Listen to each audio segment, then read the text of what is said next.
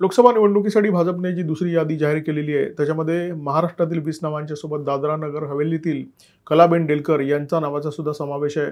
कलाबेन डेलकर यांच्या खांद्यावर बंदूक ठेवून उद्धव ठाकरेंना भाजपचा गेम करायचा होता परंतु हा गेम अंगलट आलेला आहे.